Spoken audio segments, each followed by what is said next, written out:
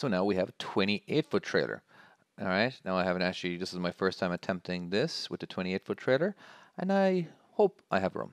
Now, uh, one thing about the 28 foot trailers when you're backing up, they're hard to control, or they're harder to control than a 53 foot trailer. All right, but you, again, you use less room.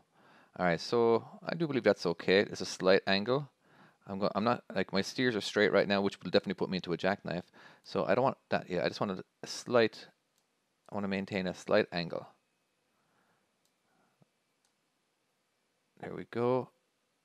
Uh, I don't know. I might not actually be able to make this, but I definitely want to get really close because that wall.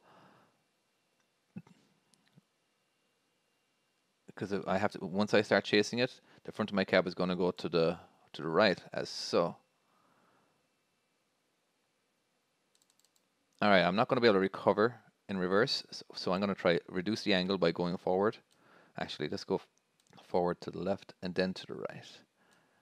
All right, and use every inch.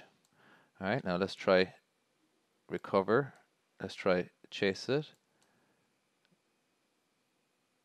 I think we can we can get away with it. All right, so let's go ahead and turn all the way to the right. It's going to try straighten myself up. Okay, and back to the left. Oh, I might not get away with it. Let's see, let's see. Okay, I can go back as far as I can without hitting anything, okay? So let's go back to the right. Okay, I think we can I think we can uh, pull this off. So I want the front of my trailer to go to the left and start chasing it. All right, now, now if we need to do, any adjustments, obviously I don't like that. All right, the further back you go, the more room you, you, you're giving yourself to do a pull forward. So I'm just going to go a little bit to the right, then to the left, straighten up.